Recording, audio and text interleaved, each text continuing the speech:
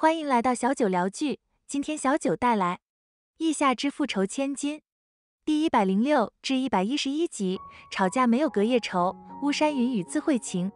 今夏被吻得晕头转向，他早已没了力气反抗，索性放纵自己一回。两人纠缠在一起，恨不得将彼此揉入彼此的体内。那一刻，一切的烦恼都消失不见，他们的眼中只有彼此。热吻中的两人。不知何时来到的床榻前，金夏也不记得自己是如何躺在陆毅身下的。待他反应过来时，衣衫早已消失不见。他不禁鄙视自己的没有抵抗力，竟然这般轻松的便被他拿捏了。陆毅发现金夏的失神，惩罚般的咬了咬那颗小樱桃，吃痛的金夏脱口啊了一声，瞬间又被陆毅带回这羞人的运动中。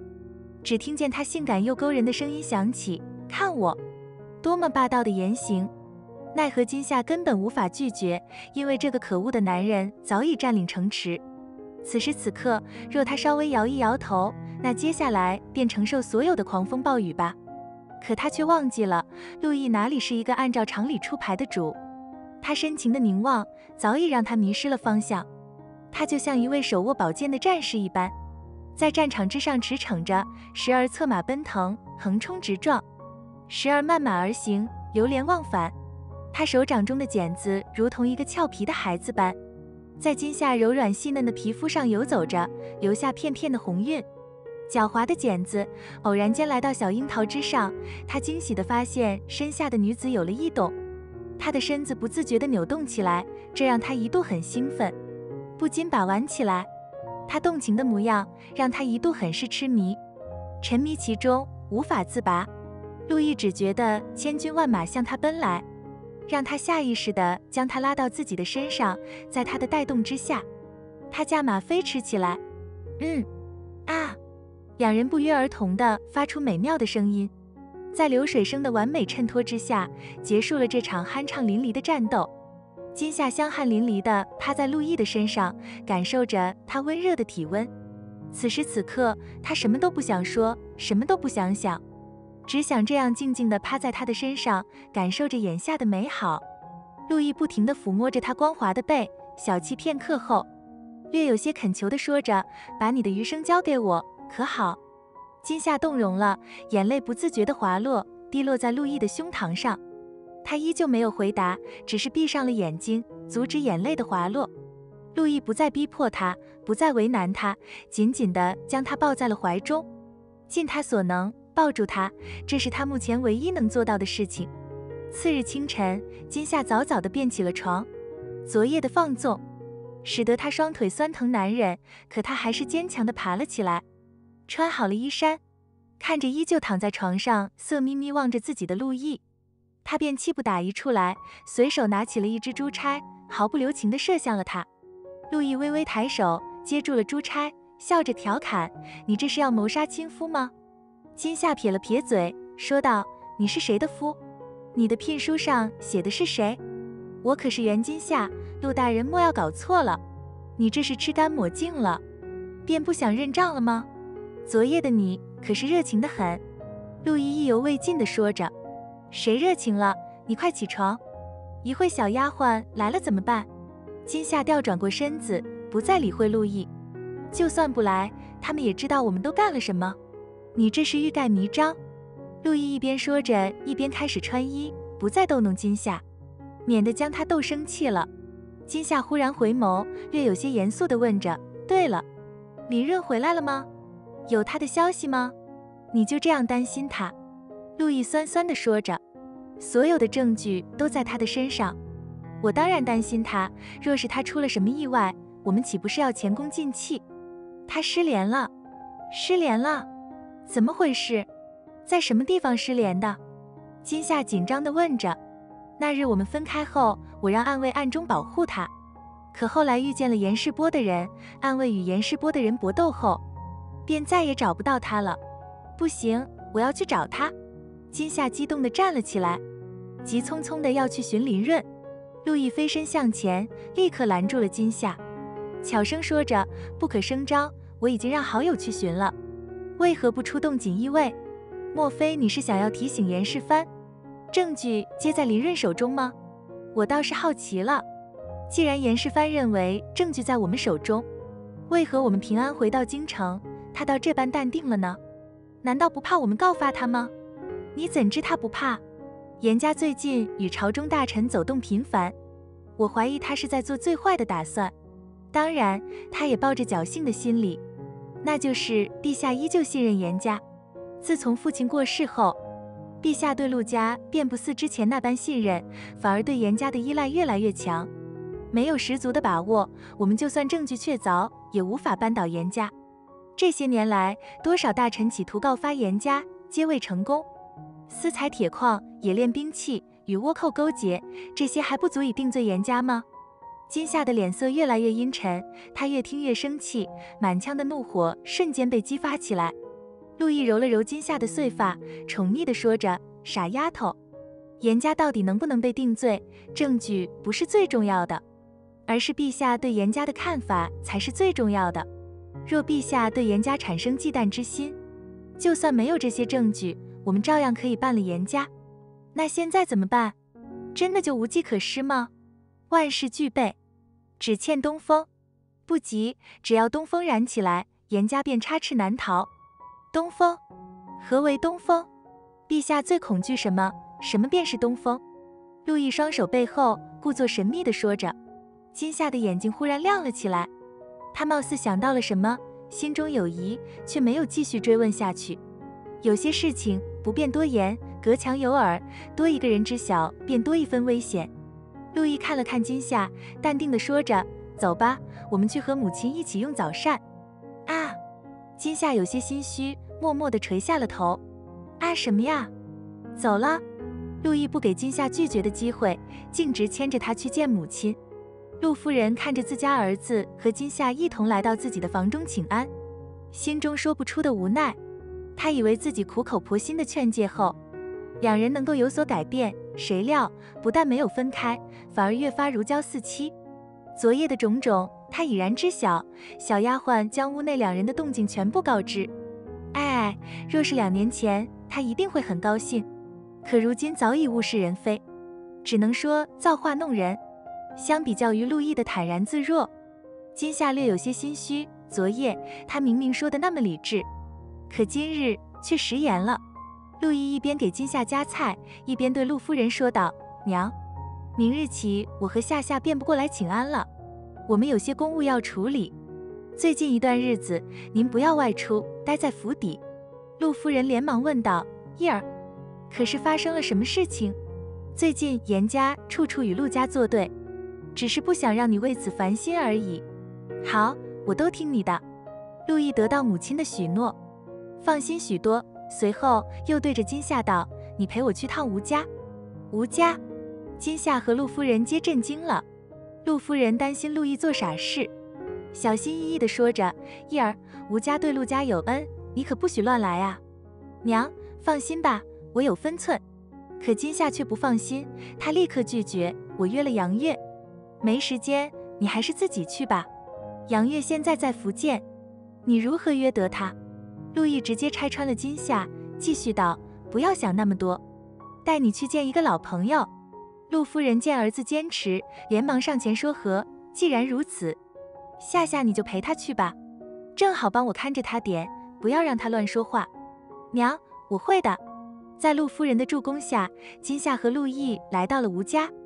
他心底有些打怵，想着陆毅和吴家的联姻，心中难免有些不自在。然而，当他看到来者时，整个人都震惊了，吃惊地看着对面的男人，问道：“怎么会是你？”吴病笑着道：“为何不能是我？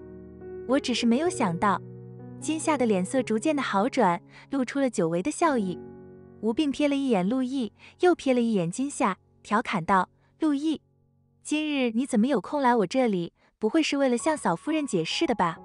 陆毅白了一眼吴病。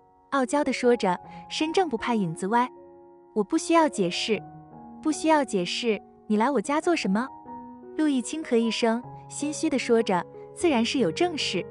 阿香可有消息传来？”吴病笑着道：“你自己联系他，问我作甚？他的消息一向是吴家最先知晓。那你去问舍妹。”莫要问我。吴病故意调侃着。今夏若是再听不出问题关键所在，那他便是呆子了。这是陆毅的一贯套路。有些时候，他想要解释，可他偏偏不直接说，而是让你看到。毕竟，亲眼看到的事情，往往比口里说出来的更有说服力。他无奈地笑了笑，可这笑容中却多了几分喜悦。正在这时，门口传来一声娇柔的声音：“阿香还有一日便到家了。”今夏抬眸，只见一个身穿淡黄色的女子款款而入，五官娇俏可人，肤如凝脂，让人忍不住多看了两眼。吴病看见自家妹妹，笑着调侃：“这阿香呀，一向重色轻友。”女子白了自家兄长一眼，说道：“哪有哥哥吐槽妹妹的？我哪里有吐槽妹妹了？分明是吐槽别人。这还没嫁呢，就帮着他说话了。”女子脸瞬间红了，搅动着手里的帕子，娇滴滴地说着：“懒得理你。”陆毅见状，说道：“既然有了阿香的消息，那我便先行告辞了。”说罢，牵着金夏的手离开了吴家。金夏笑吟吟地瞥了一眼陆毅，问道：“你带我来这里，不是为了打探消息的吧？而是为了告诉我，吴家妹妹喜欢的是沈香。对，所以你现在可以安心在陆家住下了吧？”我一直都很安心，金夏口是心非的说着。那就好，既然吴家妹妹喜欢沈香，为何还要和陆家定亲？金夏好奇地问着。没定，只是双方家长有意联姻而已。哦，所以你没有直接反对，是因为沈香对吗？是，沈家因为告发严世蕃遇害，吴沈两家门不当户不对，眼下不能结亲。吴越担心自己会嫁给别人。便私底下让我假意应承此事，只要我们能拖到沈家沉冤得雪，吴伯伯自会同意沈吴两家的婚事。你就不怕最后取得美人归？这个玩笑不好笑。陆毅沉声道：“好，知道了。”有了陆毅给的定心丸，今夏宽心许多。他不似之前那般拘谨，不似之前那般心虚别扭，相比刚入府时，心情好转许多，以至于夜里。他竟有一丝丝的主动，果然，女人的身体要比口更诚实些。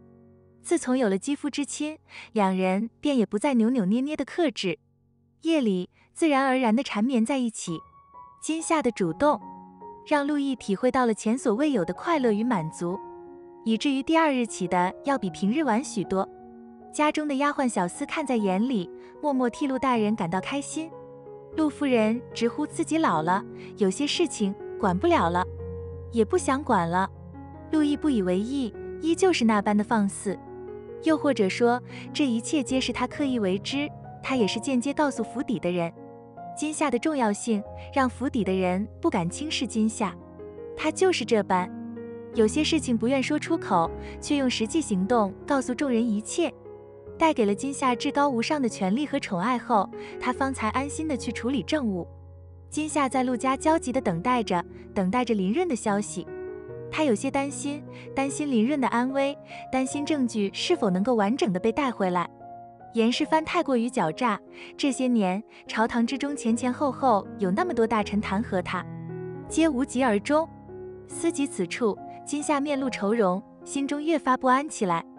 忽然，岑福来到了小院，对今夏道：“夫人，大人让我告诉您一声。”林大人回到京城了，林润回来了，可有受伤？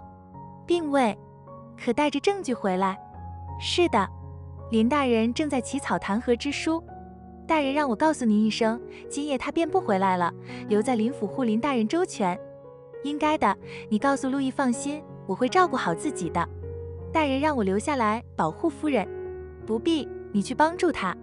夫人，大人之命不可违。若想要大人安心，请夫人让我留下。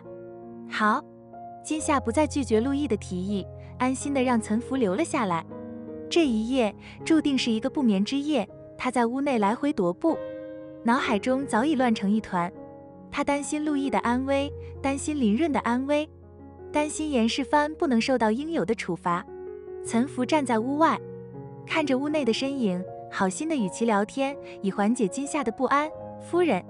您要不要吃点水果？大人说你喜欢吃桂圆，我吃不下。你陪我聊聊天吧。夫人想聊什么？聊聊陆毅吧。你跟他多少年了？岑福想了想，回道：我跟大人已有九年了。为何会对他这般忠心呢？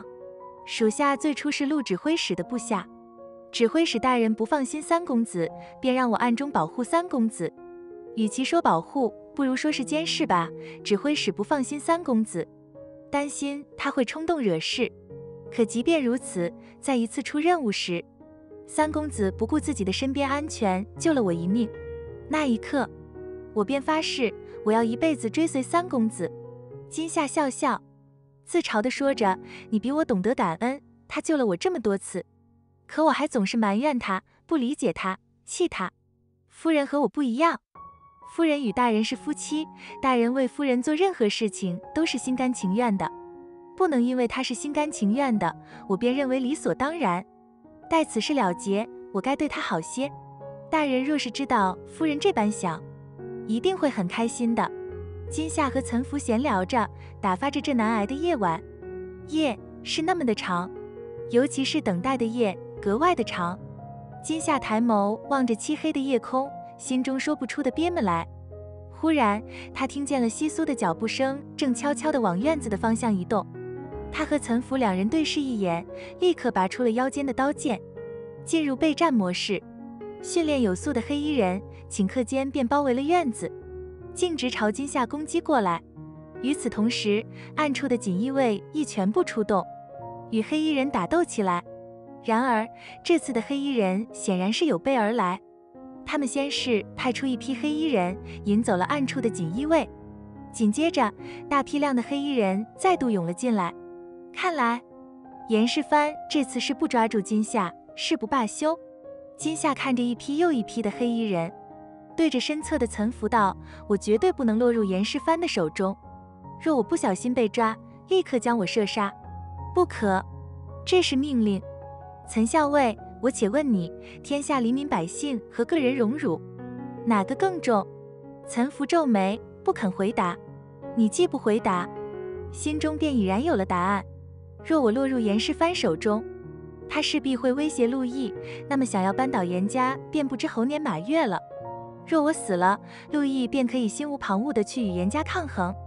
夫人若出了意外，大人不会独活的。呵呵，金夏笑出了声，继续道：“岑校尉，你怎么这般天真呢？陆毅会伤心，可时间是最好的良药，他终有一日会痊愈的。你若心中有大义，便应知晓，这是最好的办法。”岑福面露痛楚，最终只能无奈的点头：“好，我答应夫人。”这便对了。若我出事，不许告知陆毅，直到严家被扳倒。好，金夏得到岑福的应允后，便没了后顾之忧，如同换了一个人一般，眸色猩红，与黑衣人打斗在一起，出手狠厉，与他温婉的外表形成了鲜明的对比。岑福见金夏招招要人性命，那一刻不禁有些愣神。他终究是低估了眼前的女子，难怪大人喜欢她这般身。他的举手投足间像极了大人。金夏和岑福杀红了眼，可终究是寡不敌众，两人的体力慢慢透支，黑衣人却如同蚂蚁一般，一批又一批的涌入。金夏嫣然一笑，开玩笑般说着：“岑校尉，看来今日便是我奔赴黄泉之日，记住我的话，你只管说我被林神医带走了，藏匿好我的尸首，莫要告知陆大人真相，直到严家被灭为止。”岑福面露难色，他竟有一丝丝后悔了，不该答应金夏这个要求，以至于他现在有恃无恐。可他又能怎么办呢？金夏趁着岑福发愣之际，直接冲到了北面，对着黑衣人喊道：“你们不是想要抓我吗？有本事跟我来！”黑衣人见状，立刻奔向了金夏，暂时放过了岑福。金夏拿出了手铳，对着黑衣人便射击起来。黑衣人首领见迟迟抓不到金夏，便想着先将其打伤，再将其带回去。他手持宝剑，趁着金夏不备，对着他的胳膊便刺了过来。金夏自是看出黑衣人的计谋，他微微侧身，直接将心脏之处对准了黑衣人的剑尖。黑衣人想要收回宝剑，却已来不及。说时迟，那时快，只见一抹墨绿色的身影冲过来，径直挡在了金夏的身前，替他受了那一剑。院子内瞬间涌入大批量的锦衣卫，将黑衣人团团围住。金夏震惊了，不可思议地望着躺在地上的男子，怎么会是他？他为什么要救自己？鲜血不停地从男子的胸口溢出。岑福的一句“指挥使大人方才将金夏拉回现实中来”，他立刻从怀中拿出了止血药，喷洒在男子的伤口之处。可奈何伤口太大，鲜血根本无法止住。金夏对着岑福命令道：“去准备些热水和干净的布，我替指挥使大人拔刀。”陆京摇了摇头，虚弱地说着：“弟妹，不必慌张，我知道我快不行了。你为什么要救我？”金夏不解地问着。陆京淡然一笑，结结巴巴地说着：“当年举报夏家的那封信是我呈给陛下的，我祖父一世清白，你为何要这般呢？”“呵，一世清白。”弟妹，你是女子，有些事情你不懂，能当上首辅之人，又怎会一世清白呢？我知道这话不该与你说，可现实便是如此。吴七被夏家逼死那天，我便告诉自己不会放过夏家的，所以你便陷害我祖父吗？不是陷害，我不过是让狱中之人说了实话。其实。那封信不过是一个借口罢了。若是陛下不想动夏家，那封信根本起不到什么作用。你为何要同我说这些？叶儿是拿命在爱你，我不想因为我而导致你们夫妻离心。你消失这两年是陆毅最伤心的两年，每每看到你们闹别扭有隔阂，我心中便自责不已。别说了，前尘往事待你好了再说。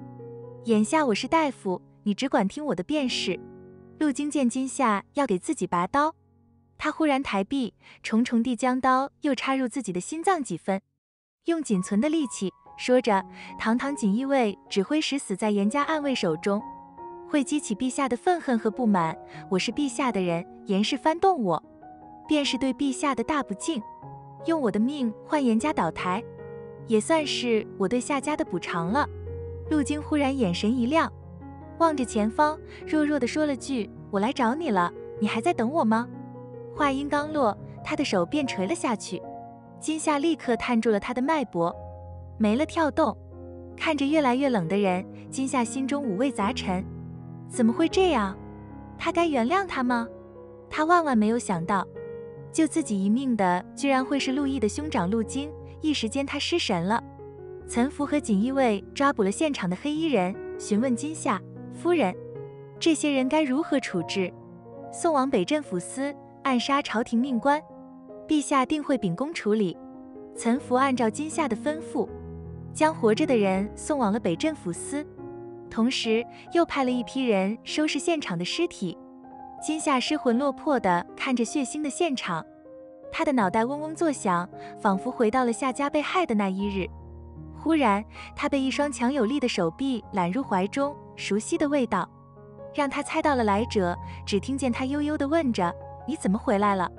林润呢？”“放心，他已经安全上朝。”“对不起，你受惊了。”“是我对不起你，我没保护好你兄长。”陆毅摸了摸金夏的头，安慰道：“不要自责，兄长给我留了遗书，他并未为了救你，而是为了扳倒严家。他以自己的命为棋子，下了最后一盘棋。”陆毅，你说我是不是太狭隘了？居然一直和兄长他较劲，不是你的错。凡事皆有因果，不要想那么多了。陆毅，其实我早已经原谅兄长了，要不然我不会跟着你回到陆家。兄长说的道理我都懂，他那一封信不足以让夏家获罪，真正让夏家灭门的是陛下的疑心。正所谓伴君如伴虎，君心难测。陆毅安抚完金夏，亲自将兄长的尸体抬回了他所在的院子。这里是兄长和大嫂成婚的地方，他想，最后的一刻，他一定会想要回到这里。